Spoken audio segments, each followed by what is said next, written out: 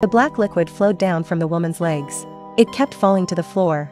Emma didn't know what it was. But the next day she started vomiting. She beckoned her dog to come over. But the dog didn't want to approach her. While she was working, a strong feeling of vomiting appeared. Emma went to a store and stole a box of pregnancy tests. The results confused and shocked her. But she had to accept the truth. She went to a clinic. The doctor gave Emma a checkup. She saw the baby in her belly clearly. Just a few days later, Emma's belly looked like she was months pregnant. And her hair started falling out for no apparent reason.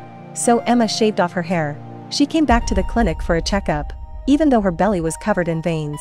The doctor still told Emma the baby was fine. Emma tried to leave the clinic. But they stopped her right away. Then the doctor gave Emma a shot in her stomach.